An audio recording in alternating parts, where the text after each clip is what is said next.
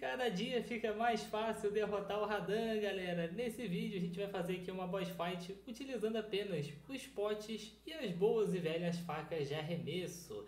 A estratégia para essa batalha vai ser a seguinte, eu vou usar os potes pesados, que são itens novos que vieram através da DLC, de podridão e de veneno. A gente consegue causar esses dois status negativos ao mesmo tempo no Radan com apenas dois potes de cada.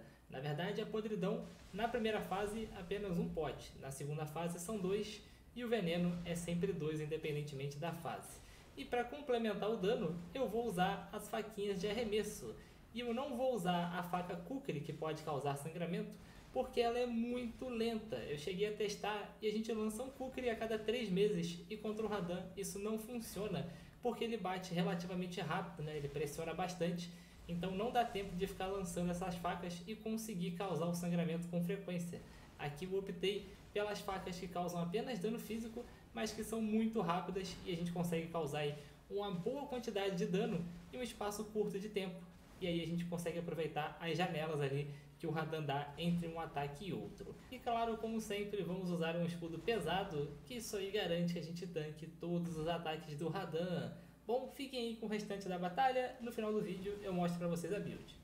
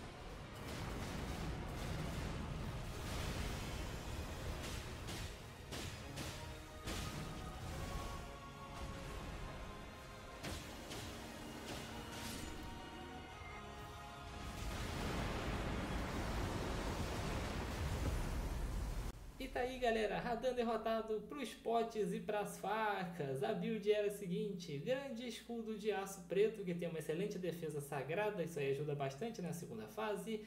Cabeça de grande jarro, que aumenta o dano que a gente causa quando taca os potes. Armadura de Radan, que é uma boa armadura, tem um bom equilíbrio e também uma boa defesa. Talismã de Draco de Pérola mais 3, para tancar o dano mágico e sagrado.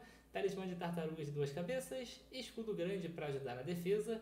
E Talismã do Jarro Companheiro. E os potes eram de podridão e veneno, já que os dois pegam ao mesmo tempo. Adagas em leque, porque elas são muito rápidas e causam um bom dano. E na primeira fase eu também usei algumas adagas de arremesso padrão, porque a gente não pode carregar muitas adagas em leque, então se eu gastasse elas na primeira fase, ia faltar para a segunda.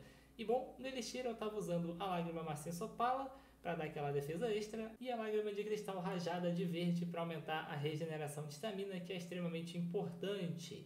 E os status da build, 55 em vitalidade, 52 em fortitude, força 50, destreza 80. Esse aí foi o vídeo, eu fico por aqui, valeu, falou e até a próxima, valeu!